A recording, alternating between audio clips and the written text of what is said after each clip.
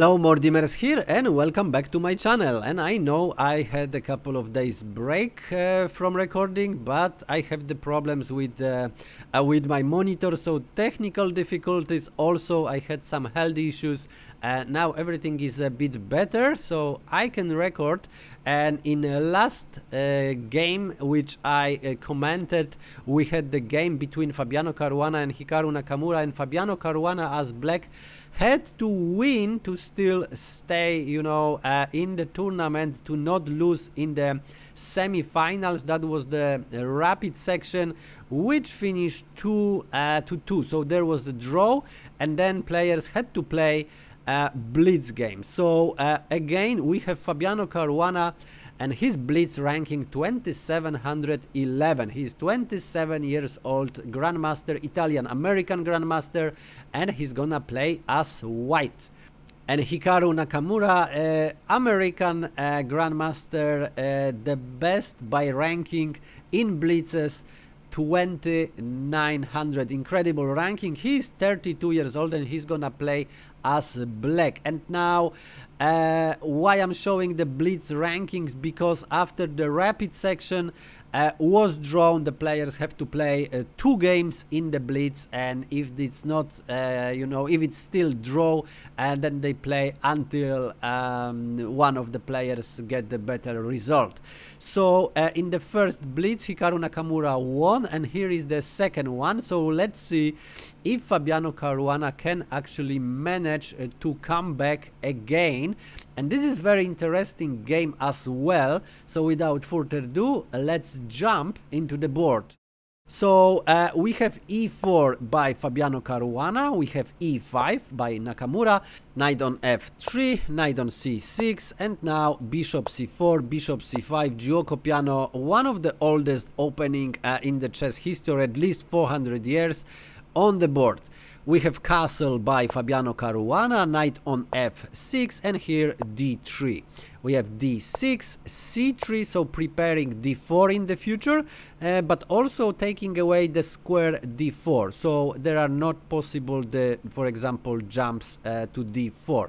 We have h6 by Hikaru Nakamura, so uh, now Hikaru uh, controls g5 so uh, white can't for example jump on g5 uh, and attack f7 that would be uh, very very unpleasant. Uh, and also bishop can't come to g5 to pin the knight. So this is also not possible. So h6 always very useful move in Giuoco Piano and rook on e1 we have castle by Hikaru Nakamura and now h3 so the same idea like h6 uh, and here a5 a5 grabbing more space on the queen side but also uh, preventing any b4 attacking the the bishop. And also bishop can actually uh, retreat to a7 if needed. Uh, and here knight b on d2 and um, the most popular move actually here uh, would be bishop on e6 challenging this bishop. This was played uh, many many times. And for example the game could continue as the most popular variation here. Just I want you to feel the Giuoco piano a bit bishop on b8 and now very interesting maneuver queen on b8 with the attack from this side um, to the king. And white have to react uh, quite well here okay? Because the knight can't jump here but the queen uh, together with the bishop can make a battery and attack f2 so uh, for example what could happen here is knight on f1 it's also a very typical maneuver um, and the knight can jump to g3 sometimes to e3 then queen a7 as planned and now uh, bishop e3 uh, bishop takes on e3 knight on e3 and for example knight on e7 so uh, the knight is not pinned anymore can move for example to g 6 so this is the most popular line. However here we have bishop on b6 which is played in 2020 quite often. So i think this is more popular uh, nowadays. We have knight on f1 by fabiano caruana and here knight on e7 so as you see the same ideas but without all of this maneuvering.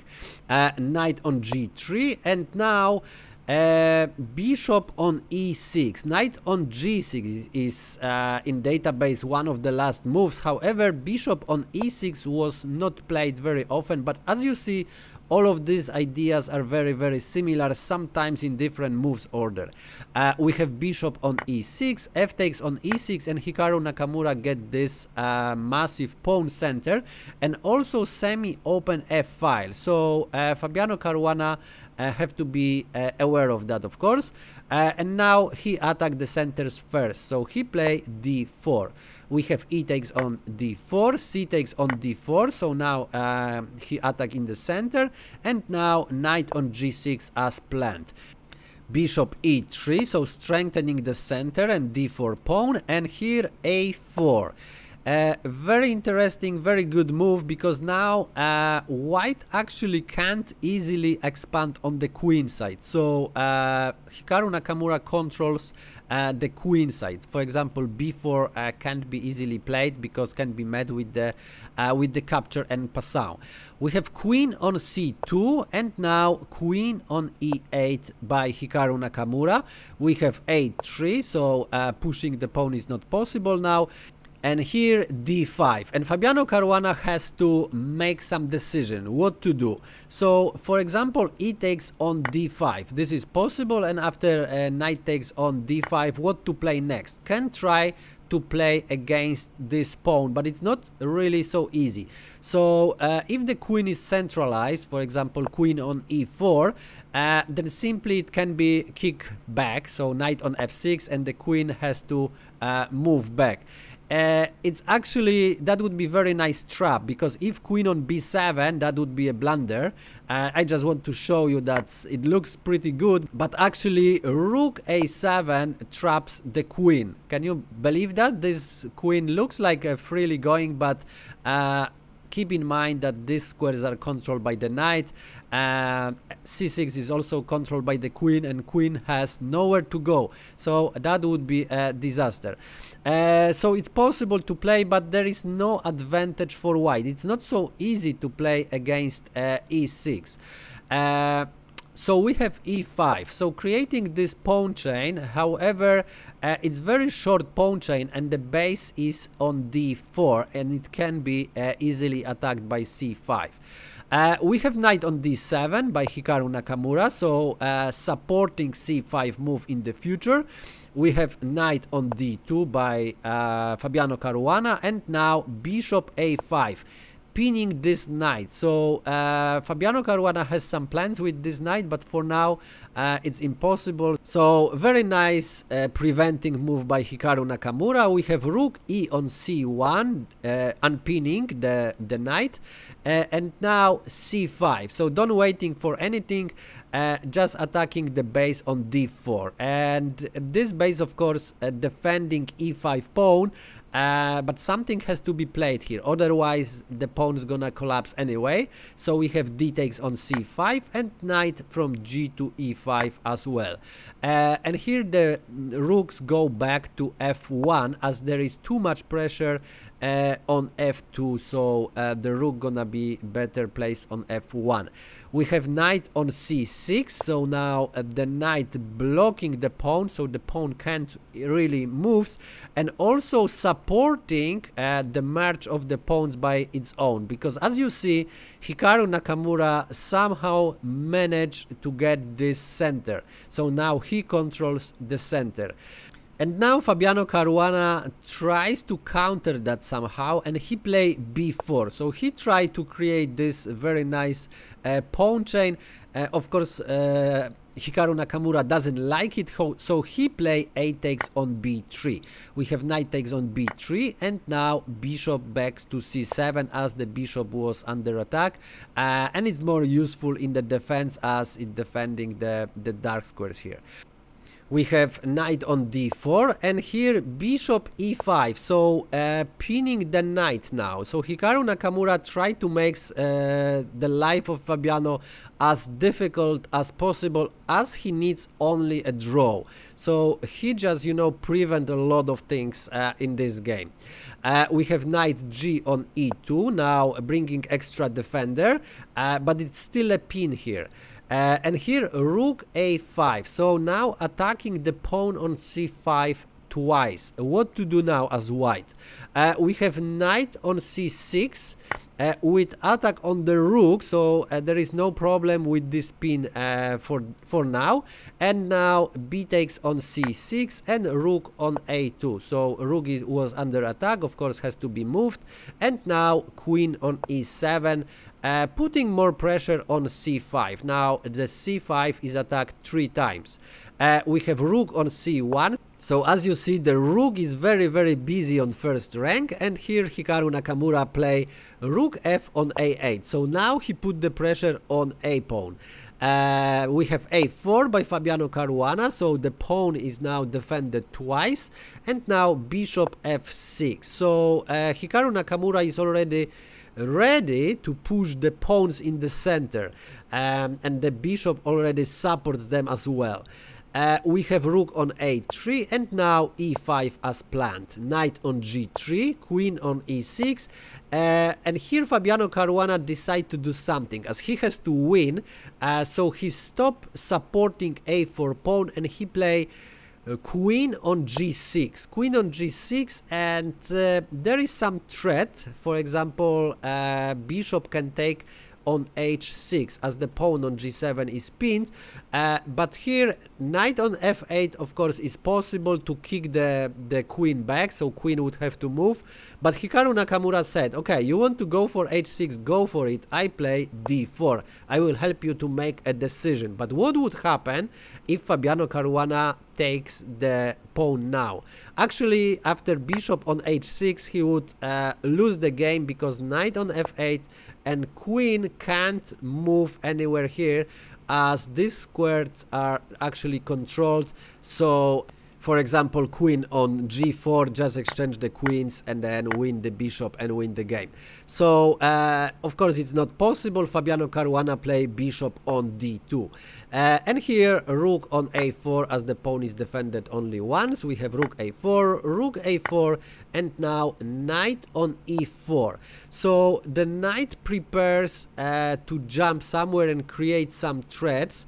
Uh, so for example the knight can jump to d6 but also it makes a space for the queen. So now queen can retreat still stay on the on the g file and also that would be a threat already. So uh, this is the idea here. We have knight on f8 threatening the uh, the queen queen on g3 as planned and now king on h7 as now this was you know the threat and Hikaru Nakamura of course don't want to lose the pawn. Uh, we have rook on b1 so now uh, attacking from the flank preparing some attacks on b7 or maybe on b8 uh, on the 7 or 8 ranks so um, that's the plan. Uh, always go with the rooks to the open files and we have rook on a7 by Hikaru Nakamura. So he said okay you can take the 8 rank but uh, 7 rank I don't want your rook here. Uh, we have queen on d3 now this is very tricky because already uh, you see the knight can jump to f6 with the discovery and also double attack and win the piece. So black have to be extremely careful. This is why Hikaru Nakamura play king on g8 uh, we have rook on b8 now pinning the knight. So as you see, it start to be very, very hot here and Hikaru Nakamura has to be very, very precise. But remember, this is the Blitz game, so you don't have much time for thinking. You make moves almost automatically here. Uh, we have bishop on e7 bringing extra support to the uh, to the knight and now queen on f3 so also uh, put more pressure on the knight here. So the bishop can't really move here. Uh, we have queen on f7 trying to exchange the queens queen on g3 uh, and now queen on e6 so going here and there and creating new extra threats. And now Fabiano Caruana play rook on e8 pinning the bishop also. So bishop can't move and it's quite important for the game pin and how important for example uh, what is possible here uh, is queen on f7. That would be the best move, however, it's so, so complicated uh, and white actually could play, for example, rook on c8 and look at this move. Uh, queen on f5 I would like to just show you how complicated this position can become. Because it looks like nothing really going on but it's really really very rich uh, in the motives position. So for example bishop on h6 if uh, Hikaru Nakamura let this pin happening now as you see there is a mating ideas here very serious mating threat. But now bishop h4 and look at this the pawn is defended by the rook now, but also uh, the queen is under attack, the knight is under attack, the rook is under attack, but also this bishop is under attack. So all white pieces are under attack. Uh, but it's it's very very complicated. But white actually can play rook on f8, and after queen f8, uh, queen h4, g takes on h6 and the position is slightly better for black but white still have some chances uh, with the knight and the queen and open position of the black king. So uh, very complicated position. However here Hikaru Nakamura didn't go uh, for queen on f7 he play king on h7 so he don't like this pin at all and this is why he played that. And here actually Fabiano Caruana has a chance to win the game. However he have to be very precise. So feel free to pause the video and try to find the winning move for white. It's not easy move uh, but I already show you a couple of ideas what is going on. So maybe these are some hints for you. Uh, while I enjoy my cup of tea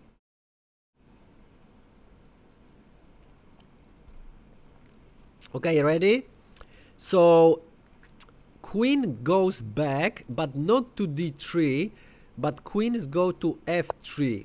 And it's very, very strong move. So let me explain. First threat is, of course, uh, taking the knight. Okay, knight can be taken as the bishop is pinned. I show you that idea already. So uh, white would simply win the piece and, uh, and yeah, end the game. So uh, what black can try to do? Move the knight. But knight on g6 is actually losing because knight g5 and there, is, there are no moves and there is checkmate is coming. So definitely can't move the knight. Knight on d7 also doesn't work because queen on h5, okay? And now this move is coming again. Queen g6 doesn't work because rook on h8, okay? And now after king on h8, queen g6, winning the queen and also the game. So also doesn't work. So the best would be queen on d5, uh, unpinning the queen. However, it's still not really great. It's still better for white because rook on e7, rook e7 and now queen takes on f8, okay? And now uh, rook f7 is possible, queen on e8 and uh, white just have two pieces for the rook so uh, should be much better for white. Of course it's still a lot uh, to play but uh, definitely white stands much better here. So this was the idea to win the game um, this way. However, Fabiano Caruana was very, very short on time. I think it was less than one minute and he has to decide, uh, you know, in moment. And this queen already has a lot of motives. So sometimes going to f3, sometimes going to d3. And all of this is nearly impossible to calculate in, in the blitz. So, uh, you know, he play rook on b8. Uh, and now we have knight on d7 attacking the rook. And here we have queen on d3. So Fabiano Caruana don't take the rook, but if the rook is taken, of course, we're gonna have a checkmate here. I will show you that uh, in, in a couple of moves. Uh, we have queen on g6, uh, so still all of these ideas are on the board. With the rook on h8 and the queen getting on g6, uh, so Hikaru Nakamura has to be very precise here. We have rook on c8 now, uh, and what is the idea? This is also very sneaky move, because if black play any move, for example, rook on b7, waiting move, uh, then actually rook c6 is very dangerous, attacking the queen, and queen has to be moved, because if queen takes the rook, then actually we would have knight on f6, double check, also controlling g8, and after king on h8 we would have a checkmate. So all of these ideas are still on the board. Very, very dangerous. Uh, but here Hikaru Nakamura play knight on f8 again. And it looks like very, very similar position. However, uh, Fabiano Caruana play rook on c6. So he didn't recognize that uh, actually Nakamura play uh, some move like knight on f8 and he prevents um, this checkmate. Uh, he should play in this position, um, you know, after knight on f8, something like f3, okay? And the game could continue, just rook a1, king h2, and the game can continue, but white stands definitely better. But of course, it's not so easy uh, when you are short on time and then it's blitz and you have to win. You cannot just draw um, to decide what to do. So uh, we had rook on c6 uh, and here Hikaru Nakamura just calmly took the rook. Uh, and Fabiano Caruana was what just happening? Knight on g5 with check, uh, king h8, and then he realized, okay, this is the defender, so I couldn't take on rook, rook on c6. So now it doesn't work. All this idea doesn't work. So we have knight on f7 now, king on g8, knight on e5 attacking the queen, queen d5, bishop on f4, rook on c5, and in this position Fabiano Caruana actually resigned the game, so uh, Hikaru Nakamura got into the final. Uh, because that is his second win uh, in Blitz. And Fabiano Caruana resigned because he is uh, rook down, rook which he sacrificed on c6. So that was not the greatest idea. And let me know in the comments if you would like me to cover um, some games from the another semi-final between Magnus Carlsen and Ding Liren and the final or maybe I should just move to another tournament which is played uh, tournament of nations where where we have you know uh, China, India, uh, Russia, uh, as a teams and also we have the for example block of countries like like Europe has one team. Uh, also quite interesting format online. So we have a lot of tournaments uh, one tournament finished and then there is another.